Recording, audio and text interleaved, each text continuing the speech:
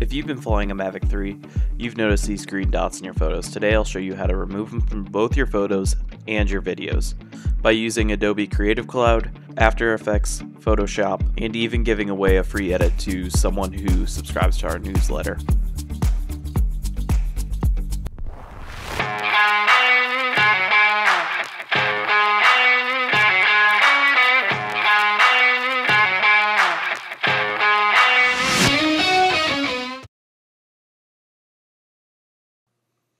Okay, for removing the green lens flares in Photoshop, we're first going to go to the top left, select the lasso tool, and then zoom into the lens flare dots. Once we've got them selected on our screen, we're going to select them with the lasso, tracing around them, you know, as neatly and closely as we can, as that will be the area that will be automatically generated with fill. We'll right click it, scroll down to Content Aware Fill, and click on Content Aware Fill. From this point then, we're going to deselect certain parts of where the uh, fill is being generated from.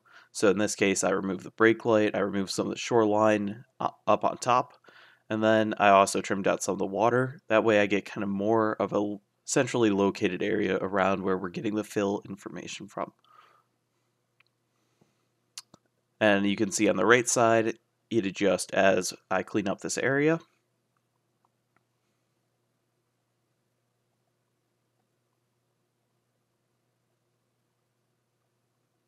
And then we'll click apply.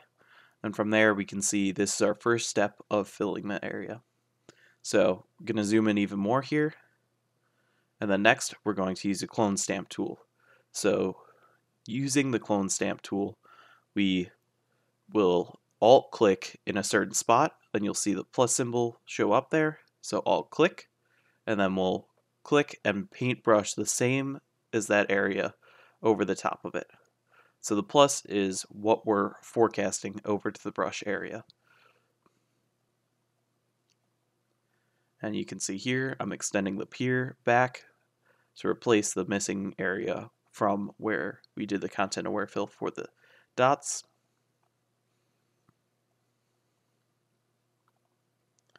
And I'll fast forward this a little bit.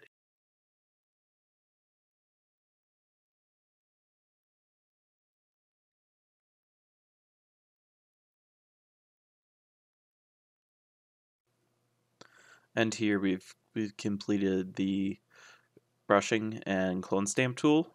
We will zoom out and you'll see that you really can't notice a difference from you know what the original photo would have looked like without the green dots. For removing one of the Mavic 3 lens flares in the videos, we will be using Adobe After Effects. So here I'm just scrolling through the video to identify where the lens flare really starts to show up. And it'll show up in a shot like this where you're panning across the sun.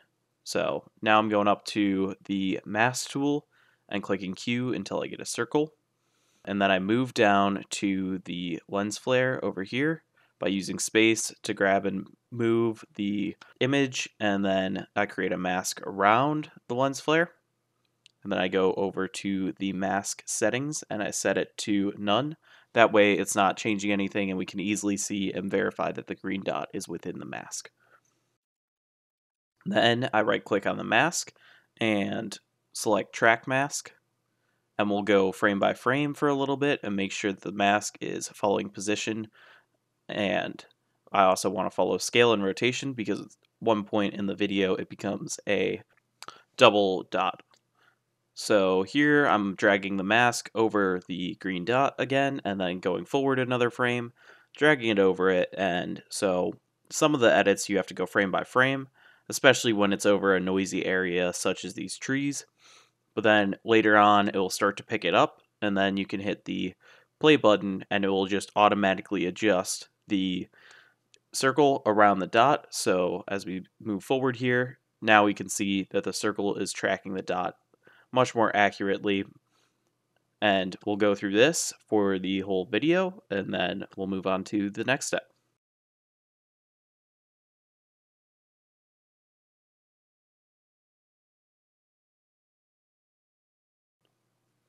It's always good to go back to the full view and just make sure running back through all the keyframes that it's tracking the green dot throughout and kind of as a nice smooth motion. That usually works the best for the content aware fill, which we will be doing later in this.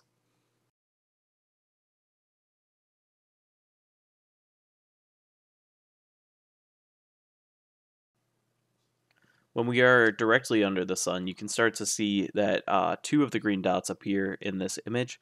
So I've increased the size that of the mask. That way we cover both the green dots and that little extra glow around them to try to remove as much that kind of harsh green glow in the imagery as possible.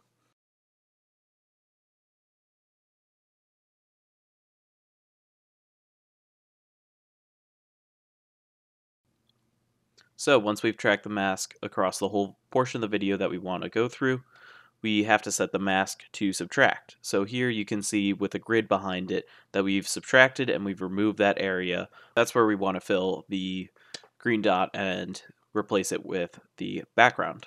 So next step is setting up the content aware fill. So if you don't have it on your right side panel, you can go up to window and check the content aware fill box. For my current settings, I generally set the alpha expansion to 5 and use the object fill method without any lighting adjustments. Um, so you select those and then you click on generate fill layer and it will go through and process and identify all the layers, analyze them, and then pretty much do the same thing as we did in Photoshop earlier and content fill each frame throughout the video.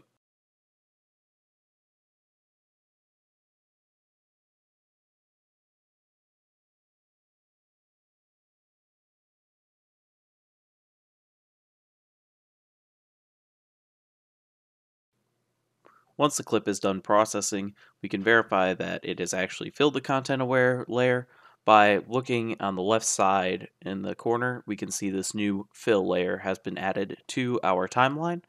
And from this, we can also play back the video and see that the green dot has been replaced with the background in the area. While it's not perfect, it is much better than having that green dot draw your viewer's attention to that area. Hopefully you guys found this video helpful as kind of a starting point for removing the green dots and lens flares. We will also be giving away a edit for both your photos and your videos to someone who subscribes to our newsletter on our website at njhaerial.com.